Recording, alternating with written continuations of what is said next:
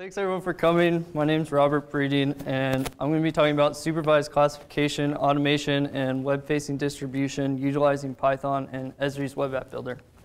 So what is image classification? Image classification is the process of converting spectral signatures into groups of pixels or polygons and attaching the ecological classification as attributes to those features. So potential uses for image classification are conservation planning, landscape analysis, habitat modeling, and for my uses, we used it for vegetation inventory and land cover analysis. So basically, we're going to try and take this Landsat imagery and turn it into a classified raster that looks similar to this.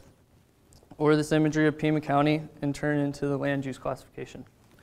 So presentation outline, um, first I'm going to give my problem statement, what are the goals of my study. I'll go over the study area and the data requirements, what's needed to run this tool set. Um, we'll look at some image processing techniques and supervised classification. Then we'll look at the results and the accuracy assessment. We'll compare this to a manual workflow, more traditional supervised classification workflow of digitizing training samples. We'll look at geoprocessing services, a little bit of server admin, and then web app builder and conclusions.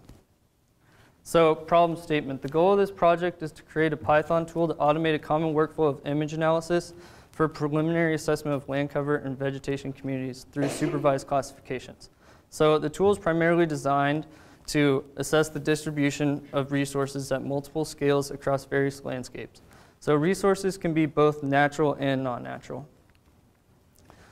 Pima County. Pima County is one of 15 counties in Arizona, and it has over 9,000 square miles of land. And the class is, or yeah, the classes symbolized in this map are similar to what we're going to see in our classified raster. So Tucson Mountain District, also known as Saguaro National Park West. Um, it's just west of the I-10, and it can be ac accessed by Picture Rocks Road and Kinney Road, which are also designated as scenic byways in the park. So data requirements, we can see the help window here to the right. Um, right here, we're going to get um, a summary of what the tool does. So it automates a supervised classification, makes a connection to your ArcGIS for server instance, and creates new web services of your results. So your input raster has to be a raster data set, and it must be atmospherically corrected. Plot data. This has to be a point feature class attributing the vegetation types or the land use with a field called final type. So logical channels. Logical channels are ancillary data used by the classifier. Um, they also have to be a raster data set, and it can be a DEM, slope, rast, or slope, or aspect. So a DEM would be useful if you have a lot of elevation change in your study area so that you can start to separate out those ecological zones by elevation. Um, for our purposes, we used an aspect raster because we noticed that different vegetation types occurred on north aspects and south aspects, and that allowed the classifier to have some referential information.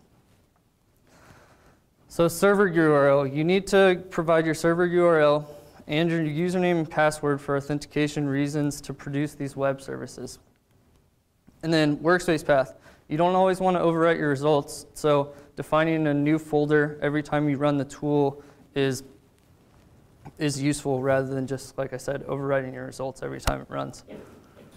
So image processing, soil adjusted vegetation index. This is basically an NDVI equation. NDVI assesses vegetative health, but this uses an L factor, which is a soil brightness correction factor, and it looks to reduce unwanted soil brightness in imagery. And so you can see from the code snippet that we used an L factor of 0.5. This is moderate. Your L factor can be from 0 to 1. This will work across basically any landscape. For less vegetative cover, you can use a higher L factor. Then we use principal components analysis. And this looks to transform an original data set into a substantially smaller uncorrelated data set. So this is big. When you're working with raster imagery, you want, it, it's usually large data files. So being able to re reduce the size of those files will significantly, significantly cut down on your processing time.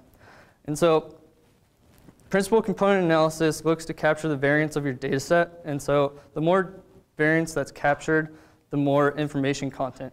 So information content is measured as eigenvalues. And we can see that the accumulation of eigenvalues in the first two principal components is 98%. Generally, you want to get at least 95% information content from your imagery, and then you can discard the rest of the principal components. So buffer analysis. This is where the tool is going to differ from your traditional supervised classification workflow. So generally, you'll come in here and you'll start to digitize features around these point feature classes to give um, the classifier your training sites. Training sites are just areas in the map that are representative of a particular land cover. But the tool is going to make a buffer, as we can see, of 200 feet. That's pretty small, but you also have a lot of plot data points, so you are able to capture a lot of that variance inside of these training samples. So supervised classification, what is it? First, the user defines training sites, and then the software determines the spectral signatures of those pixels. From there, it starts to group those pixels to the class that it most likely matches based upon the spectral signatures emitted.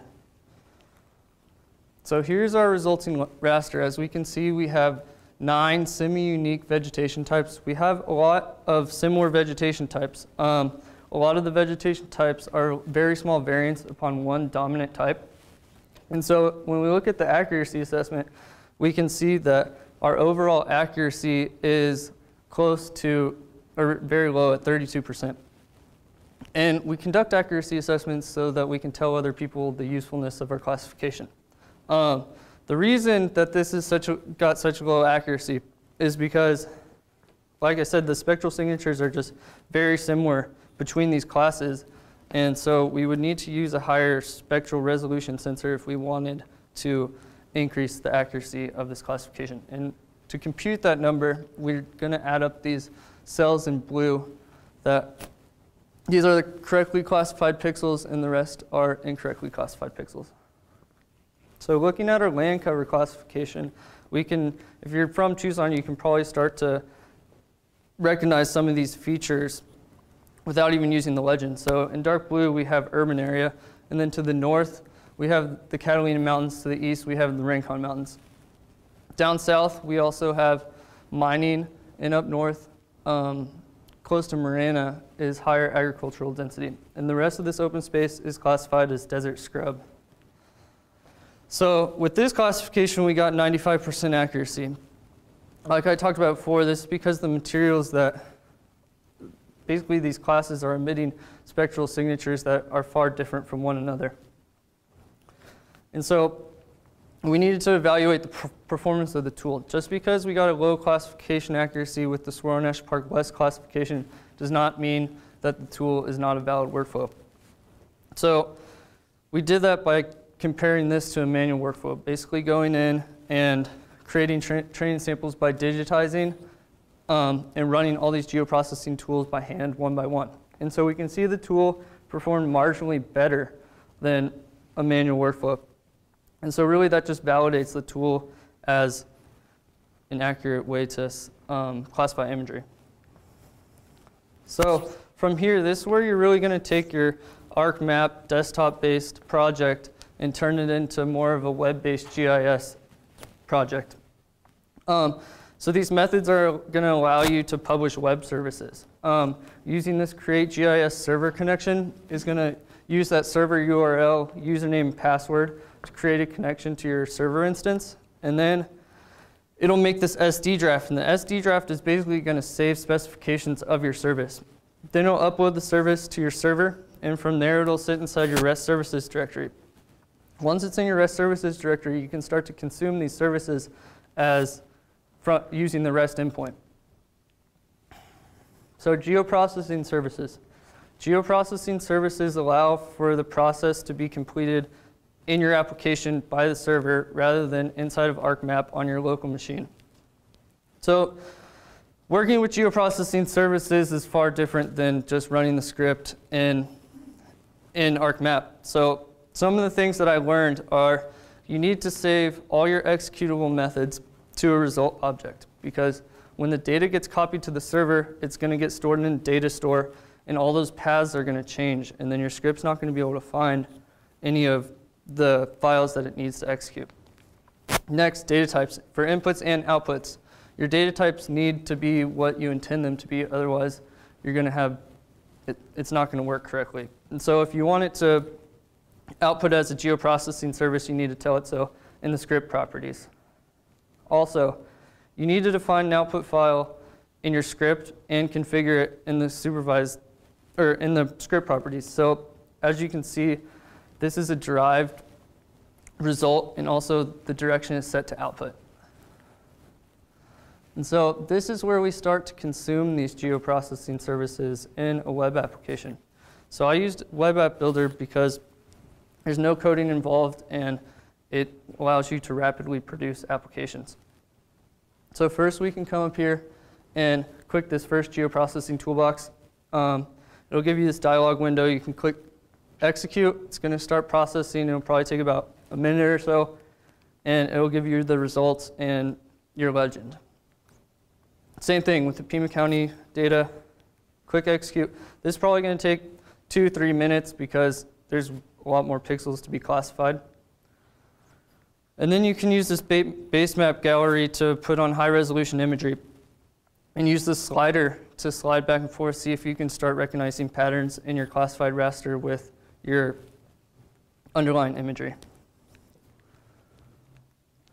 So to review, the tool automates an image processing workflow of a supervised classification with sufficient performance and then makes connection to your ArcGIS server instance publishes the results as geoprocessing services, and then consumes these geoprocessing services in a GIS application. So how do we do it? We use Python and ArcPy.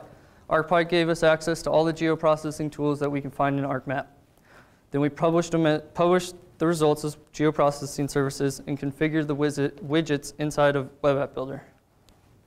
And so to conclude, Class, classifications are iterative in nature, therefore automating, automating the workflow is efficient. Anytime that you have to do a workflow multiple times, using a script is generally going to allow you to be more efficient.